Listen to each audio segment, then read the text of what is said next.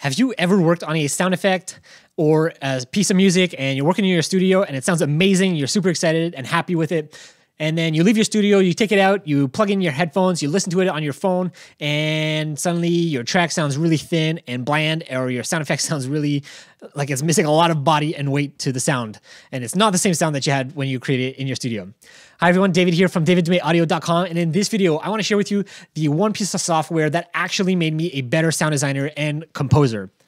All right, so if that story actually sounded familiar and you've actually done this before where you worked on a project, you take it out, you listen to it on your headphones, on your earphones, wherever, you leave your studio, you listen to it on your phone maybe, and then suddenly it just doesn't sound the same. I actually ran into that exact same problem a couple of years ago when I was actually working for somebody and I was delivering uh, music for them for a game. And um, as I was working, every time I switched between different uh, like listening environments, so I was in my studio and then I would go and listen to it on my phone or I would go listen to it somewhere else in my car, and it just didn't sound the same. And there was like, like it, it just was not as good. And I couldn't figure out why that is. So I did a lot of research into it. And a lot of people were saying, well, you just got to get to know your speakers. You just have to know your, your room environment. You have to do a lot of sound isolation in your room and you have to do a lot of treatment so that you don't get these resonant frequencies and that'll help you mix better.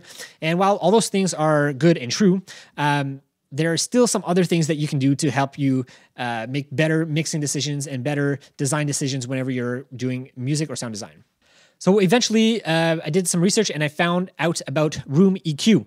So what exactly is this? So Room EQ is basically an EQ that you put uh, at the end of your master bus, at your end of your uh, mix bus, uh, so that it corrects the inaccuracies in your room or the frequencies that are in your room. So let's back up a little bit and talk about that. So there's a few things to take into consideration when we're talking about frequencies and the sound that we're actually hearing when we're in our studio. So one, there's two things that affect it. So one is your uh, studio speakers. So every piece of hardware will sound different. They're just by the way they're built and by the way they're made and the quality of sound that uh, comes from them is they're all going to be different. Some of them uh, emphasize a bit of the low end, maybe the bass. Some of them maybe emphasize a bit of the high end. Maybe they're a bit brighter. But some of them maybe scoop out some mids. Um, so based on the different hardware and how they're made, they will have different frequency, different frequency responses so they will not sound the same. So that is one thing. The next thing is that every room that you're going to be in is going to sound different. So let's say you have your studio speakers in your room at home and they sound great there. Well, then if you take those exact same speakers, your exact same setup, and you put it in a different room, a bigger room, let's say, they're not going to sound the same. They're going to suddenly sound different. They might sound uh, a bit more clear. You might have less bass if it's in a, a, bigger room. If you put it in a smaller room, in a boxy room, then suddenly you, you might have something like a peak at around 100 hertz, uh, which is very common. So depending on the room you're in, the acoustics of that room will greatly affect how you perceive your sound in uh, in your space where you're mixing and working. All right, so what Room EQ does now is it actually corrects those differences in frequencies so that they are not uh, perceived, so that they are not uh, you're not colored by them. Okay, so why don't we actually look at my computer and I want to show you guys exactly what I use, what this piece of software is.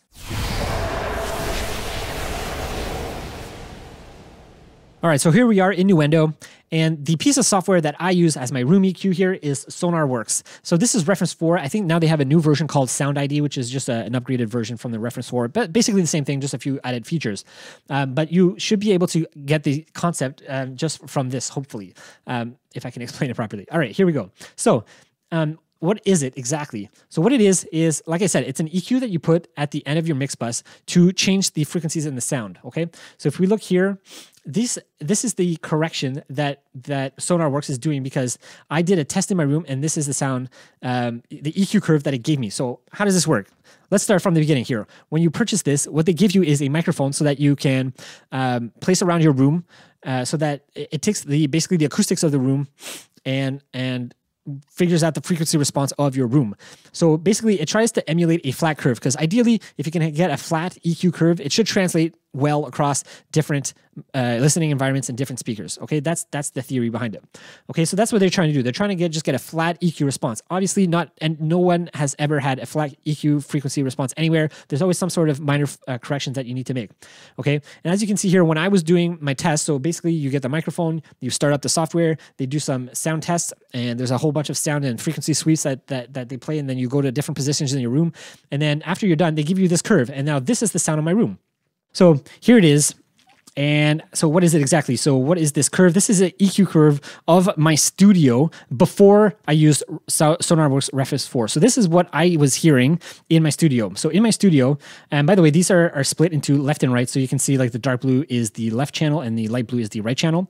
So this is what I would hear. Okay. So um, when I would be standing in my listening spot, so right in front of my computer between my two speakers, this is what I would hear. I would hear a huge, massive uh, boost at around whatever this is, or like 90, something like that. Okay. And uh, yeah, so I'd have this massive boost of nine uh, plus nine dB. Like that's huge. Okay, so that's absolutely gross. Like when you're when you're writing music or you're doing sound design and, and you hear this massive boost, you're naturally gonna want to cut it out or like not include sounds uh, or layers that have this massive boost because it's just gonna overpower the rest of your sound effect. Okay, and that's what I was doing uh, when I would be doing music or doing sound design, and I would um, I would always avoid anything that had a lot of bass because to my ears it sounded really loud, but in reality it probably wasn't, and that's what it that's what would happen whenever I would translate that into different listening environments. Like if I would go into, let's say, uh, just put on my headphones, suddenly it wouldn't sound like this anymore, and it sounded like there's missing a lot of bass. Well, that's because I didn't put any bass. Because to me, in my ears, it sounded like there was a lot of bass, right? So this is one area here but I mean, you can check every everywhere else. As you can see here, I also had a dip around here, 150, 200, another dip here around 500, another dip here around, you know, 2000, 3000. And then again, a huge air, airy boost here uh, in the highs at around whatever this is, like 5, 6, 7K. Okay. So this to me is what I was he hearing before I used SonarWorks.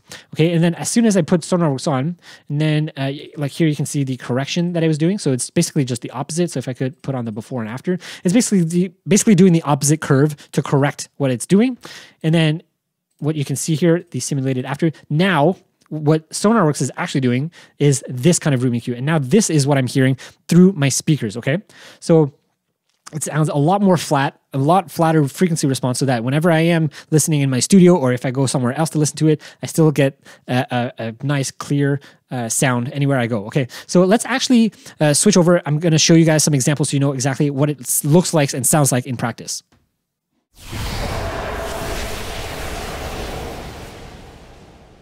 All right, so let me show you the process of what I'm doing here so you guys can actually understand what's happening. Okay, so I just took white noise, uh, and this is white noise. So if you look at the frequency response here of this white noise, it should be flat. And it's pretty much flat all the way up to 10K, and then it kind of dips down. That's fine. At least, at least up to 10K, it's flat, okay? So this is the frequency response here. Now what I did is, uh, within Nuendo, I took the same... Uh, same signal, same white noise, except I, I applied my uh, correction to it. Okay, and now this is it right here. And now if I open up my SonarWorks again, you should see that these two should be pretty darn similar. So uh, you should see here, I have a little boost at whatever this is, 60, let's say, and here I have a boost at around the 60 what is this? Around 50 60 okay and then i have a dip at around 90 and if you look here i have a dip around 93 right? So it's like it's basically following the exact same curve here uh, as it is here now obviously here it's a bit more detailed because um, the range is from 0 db to 18 here you have like whatever 0 to 120 so that's why it looks a little bit less but this is pretty much following the exact curve okay so what i did is i did an um, i'm going to do an eq match so i'm going to grab this frequency spectrum and eq match it so I'm just going to learn it. And I've already done that. And uh, now you can see like this is the EQ of this sound. Okay.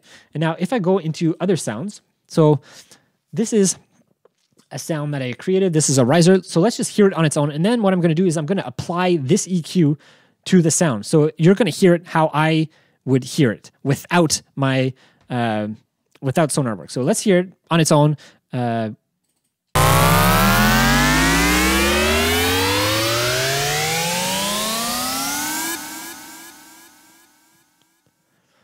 Okay. And now what I'm going to do is I'm going to compare. And now you're going to hear it the way I would hear it in my studio. Okay. So let's hear it.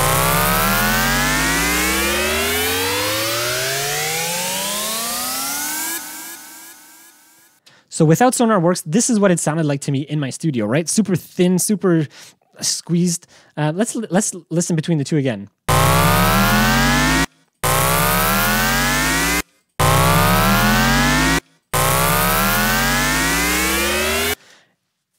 Right? So they sound completely different. Like this original audio sounds like it has a full body, full uh, bass end to it, and this top one it really doesn't, right? It's really bright nasally and it just does, doesn't sound good, right? So this is the difference that, that SonarWorks makes to your sound. So it applies this EQ so that when I'm playing it in in my studio, I don't hear this sound and try to make it sound good, right? I don't hear this and then I try to add some bass because it's missing bass. Like, no, it's actually, this is what it actually sounds like if I was going to take it out to different listening environments.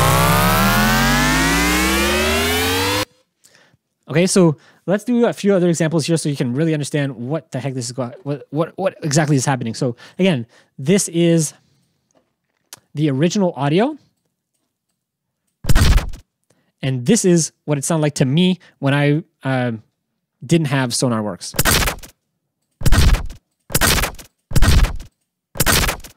And just so you know, there is some slight variation, as you can see here, in integrated loudness. So uh, this one is like negative 12 LUFS, and here's like negative, uh, 10.6. So you have you know 1.5 difference. But even with that, hopefully you can hear the frequency differences between the two sounds. Like they're not at all different. And by the way, you're going to need a decent set of speakers or headphones to listen to this because this is a really bassy sound. Right? It just doesn't sound like the same sound, and yet it is the same sound. So again, huge difference. So this is the original audio, and this is what it would sound like without SonarWorks. This is how I would hear it in my studio, right? Super bright, nasally. There's like ba barely any bass to it, right? So probably not a sound that I would have designed, not a sound that I would have kept.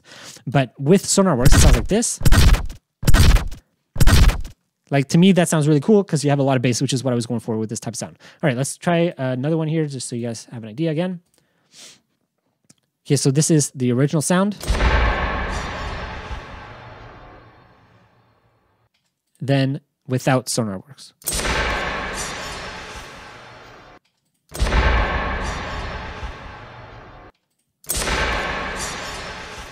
Like hopefully you can hear that there's so much bass and body missing to the sound. It just it's not at all the same sound, right? So hopefully this kind of makes my point and shows my point that I'm trying to make here.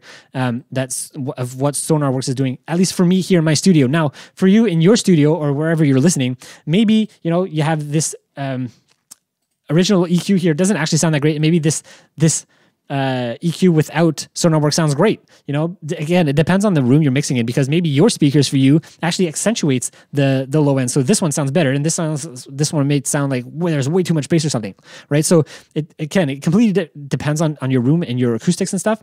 But for me, this sounds like super just nice full body sound, and this one is super thin.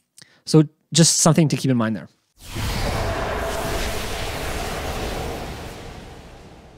All right, so now what I wanted to do is actually show you what is SonarWorks and basically how I use it, okay?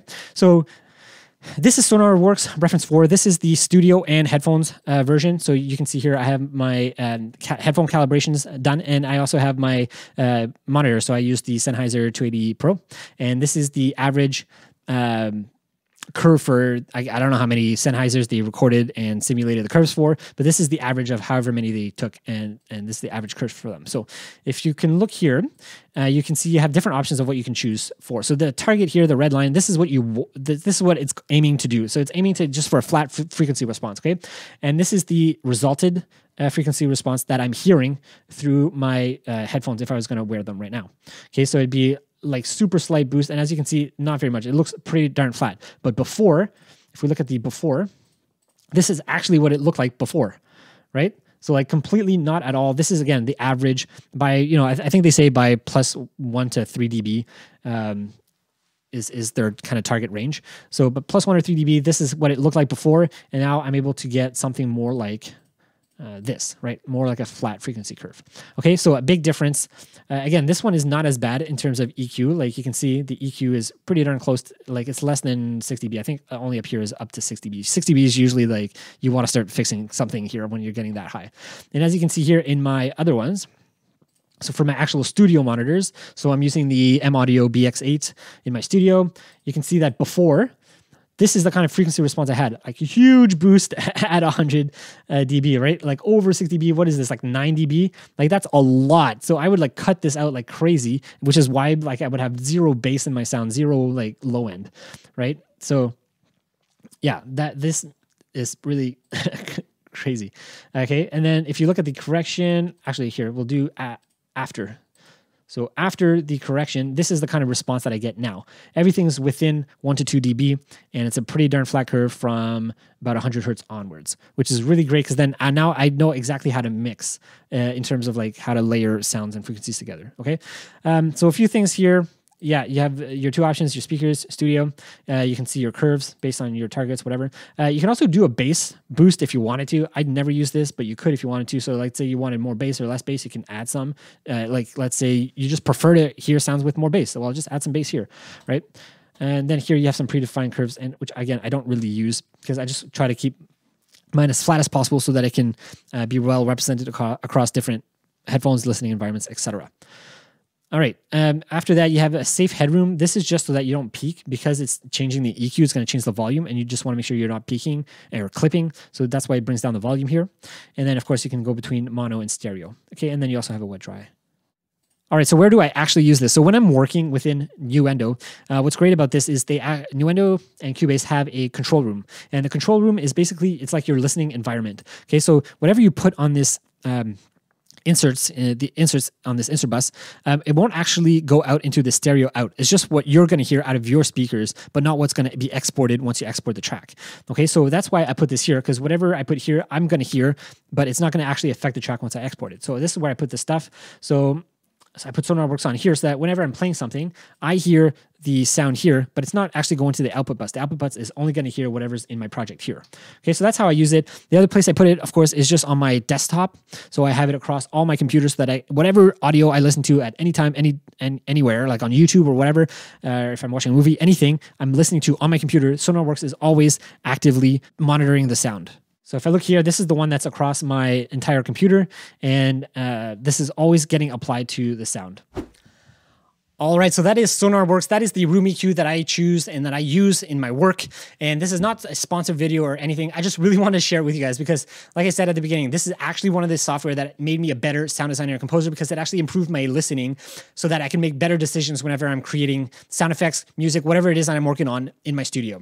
Okay, so should you get SonarWorks? Uh, my quick answer is yes, but also it depends. So they have two different versions. One, like I said, is the studio version where it's for your speakers and your headphones, and then the other one is just headphones. So if you're just starting out and you're just a beginner, um, what I would recommend is that you just do the headphones first. The reason for that is just you're going to save yourself money uh, in terms of budget, especially if you don't have uh, like professional studio monitors. There's no point of getting the studio version for any other computer uh, monitors that you might have. So start with just the headphones if that's what you have and what you're using. And then eventually, if you ever upgrade to studio monitors or larger studio monitors, then yeah, upgrade to get the full reference uh, like suite. So the for the studio and the monitors or, or the headphones, sorry. So you get both of those uh, as one product. And I should also mention before you even consider getting like reference 4 uh, studio, you should definitely invest into some room treatment, sound treatment for your room. So in my room, I have like six. I have six baseboards here, like six boards, not baseboards, but sound boards that are made to absorb sound, especially, especially like low frequency sounds. Uh, just because I have a bigger room and my my monitors are pretty close to the wall, so I know I have a lot of bass uh, around here. So I, I put those around my studio here, around my desk. But um, yeah, that's the first thing I would I would kind of put money towards if you're going the uh, studio monitor route. Okay, so if you're gonna get studio monitors, start by making your sound a bit more soundproof. Once you have it a bit more soundproof, then you'll still need a bit of room correction, room EQ, and that's when you should maybe look into getting something like SonarWorks just to make it as flat as possible. All right, so I think that's basically it for this video. Hopefully, I didn't embarrass myself too much with this technical information, but um, hopefully, you guys get the idea of what SonarWorks can do and how it works and how it can actually make you a better sound designer and composer. And um, I know, like some people say, like this is kind of a a controversial topic, a controversial thing that whether you should even use room EQ or not, or whether you should just use your ears and get better at listening. But to me, I just want to hear sounds the, the, the way that they should uh, that the, the way that it'll be heard translated across different listening environments. So if I can hear it as flat as possible, that's what I want to hear. And it's just made a huge difference in my life. It's improved the quality of my sound pretty much instantly. Like actually, as soon as I installed it, uh, the next like track of music that I created, the next sound effects that I created were instantly better. So it really is that big of a difference. So, um, anyways, that's it for now. I really encourage you guys to get it if you um, if this is something that would help you. And I think that's it for now. If you guys have any questions, please leave them in the comments below. Also, check the description. I'll have a little sound pack for you guys for free. And that's it for now. Thanks for watching. I'll see you in the next video.